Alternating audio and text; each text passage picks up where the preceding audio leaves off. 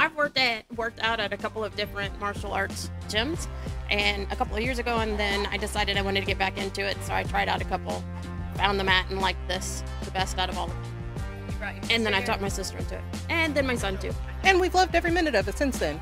My mother invited me to try out a few classes, and I just fell in love with it after that, so I just kept coming. As a working dad and a husband, I just feel like I'm spending all this time just taking care of my family, and then years go by and I start to uh, feel like I kind of don't have something that's mine. I was looking for a place to get fit and healthy, but at the same time, I wanted to do something a bit more mentally stimulating and learn something different.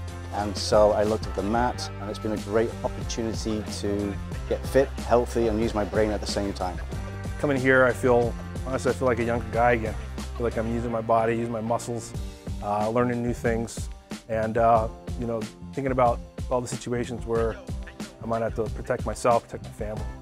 I've been training uh, in Krav Maga for over 20 years, trained under both American and, Israeli instructors. And I think the reason I've been coming to the mat for so long is because I have an opportunity to, to be able to train under Alec, uh, the, uh, the owner, and uh, he just, the depth of his knowledge uh, and how he communicates that and the support and the atmosphere he, he encourages at the studio is, is far surpasses any place else I've ever had experience with. You definitely feel like you're getting personal instruction in your classes, and you'll just really enjoy the time you put in here. It makes me want to come here. I want to come work out. It's not a chore anymore. I enjoy coming here after work.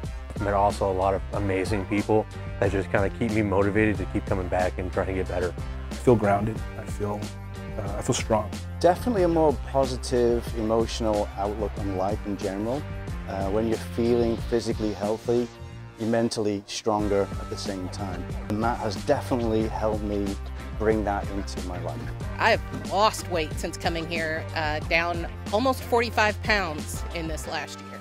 It's just a great atmosphere. It is probably one of the most fun I've ever had. You'll enjoy it, you'll love it, and everybody here will embrace you. It just brought a giant smile across my face. It's- You need to make time for yourself, or else the time's going to be gone.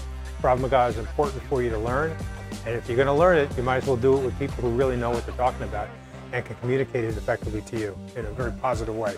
And you just can't get it elsewhere, so that's one of the reasons I'm here. Plus, I love the people that I work out with. I think they're great folks.